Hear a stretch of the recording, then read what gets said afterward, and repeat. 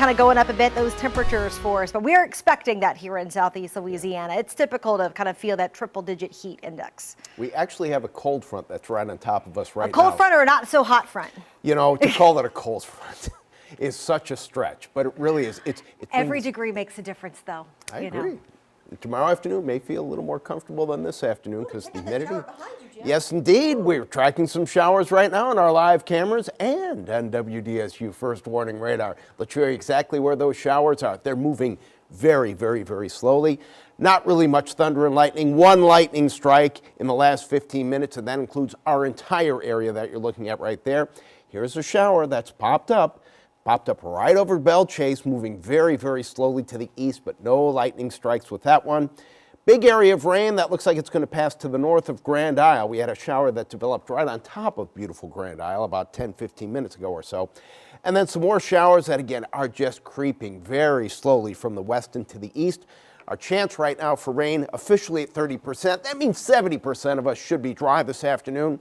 But look at the temperatures 79 in Galliano, 79 Grand Isle, rain cooled readings there. Everyone else close to 90 degrees now. Here's a look at your current conditions at Louis Armstrong International Airport.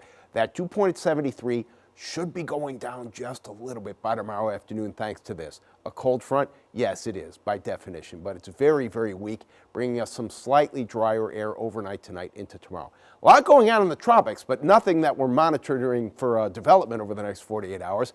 Cloudiness in the Caribbean that extends actually from the Bahamas down into the central portion of the Caribbean right now. This is associated with an upper level trough and then actually four tropical waves in the intertropical convergence zone, but the Hurricane Center does not expect development from any of them. Here's your afternoon. Scattered showers, maybe in isolated thunderstorms through about 3, 3, 30, 4 o'clock or so. Once we get to dinner time, the showers should be wrapping up, and then some slightly, slightly cooler and drier air moving in. Tomorrow morning, 71 in Bogalusa, 72 in Slidell, so yes, feeling just a touch more comfortable. Tomorrow afternoon, we could have a couple of showers, but they're mainly going to be real close to the coast on the south shore. Chance for rain tomorrow officially at 20%. Here's your better chance for rain. It comes in our extended forecast. We'll go from Friday into the weekend. Tropical wave that'll move from the Caribbean into the Gulf of Mexico, bringing a better chance for rain to Florida. But then once we get to Sunday and Monday, there we go. Looks like things are going to be getting wetter for us. But again, a very disorganized tropical wave is the way it looks right now. Partly cloudy, hot and humid today, 30% chance for scattered showers, and yes, an isolated thunderstorm. Tonight, it's going to be muggy again, but on the North Shore, you'll be a degree or two cooler. Showers ending very quickly after dinner time. And then tomorrow, we'll put the chance for rain officially at 20% mainly for the South Shore. Partly cloudy, and it will be just a little less humid.